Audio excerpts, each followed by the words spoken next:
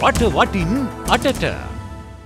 යෝජිත හම්මන්තොට වනාලි රක්ෂිතය gazette කරන ලෙස ඉල්ලා වලව වම්මිවර ගොවි සංවිධානය ඇතුළු ගොවි සංවිධාන අසූහයක් කරඹූ උපවාසයට අදට දින පණක් ගත වී තිබෙනවා. තම ඉල්ලීම් ඉටු කර දෙන ලෙස රජයට බල කරමින් වලව වම්මිවර ගොවි සංවිධානයේ සභාපති මහින්ද සමරවික්‍රම අද යළි මාරාන්තික උපවාසයක් ආරම්භ කළා. ස්වර්ණ ශ්‍රී සාධනාද සමාජ සත්කාර වැඩසරහණ යටතේ විහාරසාන සියක් සංවර්ධනය කිරීමේ තවත් අධීරක් පැවතුනේ හබරාදුව ශ්‍රී ගුණදර්ශනාරාමේදී.